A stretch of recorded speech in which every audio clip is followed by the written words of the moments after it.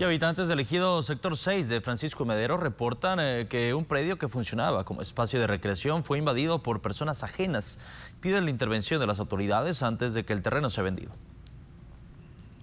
Por más de 50 años, la comunidad del sector 6 del municipio de Francisco y Madero ha mantenido como posesionario de una parte del ramal del río Nazas, que fue destinada por muchos años para instalar canchas de béisbol, softball, básquetbol, con la finalidad de que el área verde que existía sirviera a la comunidad pero lamentablemente fue invadida por personas ajenas. Anselmo Ramos Reyes, quien es presidente de la Asociación de la Comunidad del 6, mencionó que desde hace 50 años los pobladores se encuentran con la posesión del lugar con la finalidad de que fungiera como un espacio de recreación en beneficio de la comunidad, pero lamentablemente desde hace dos años pobladores del ejido Jaboncillo invadieron el predio argumentando que la vega les pertenecía.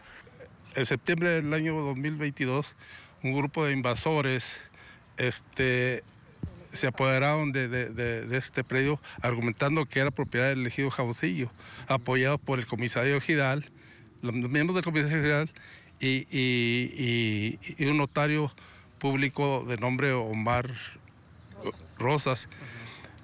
quien ha eh, estado dando este, extendiendo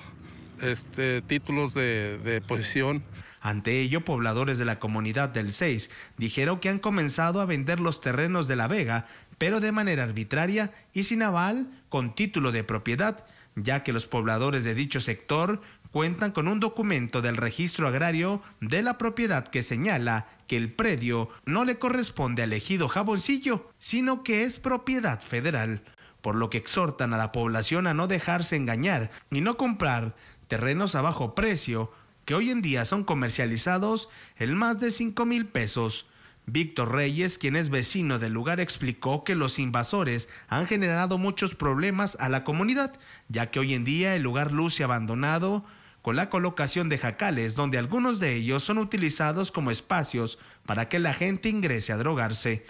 Pero nosotros siempre hemos, acudido a las autoridades, a las autoridades y nos han ayudado, las autoridades de aquí, municipales, vienen y ponen orden y se van los, los, los, los paraquedistas o los que se quieren meter rápido, así como luego, luego hay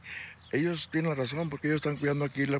y tienen muchos años aquí vecindados con el terreno. Siempre lo hemos usado para fútbol, para béisbol, para básquetbol. Inclusive al presidente que estaba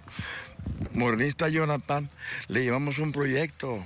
un proyecto porque nosotros queremos un, un, área verde, porque aquí en Medro no hay áreas verdes. Por lo que la comunidad se congregó este día para exigir a la autoridad que el espacio se recupere y vuelva a ser lo que en algún tiempo fue un espacio de recreación para todo el municipio. Con imágenes de Cristian Morúa informó para Telediario Rolando Guevara.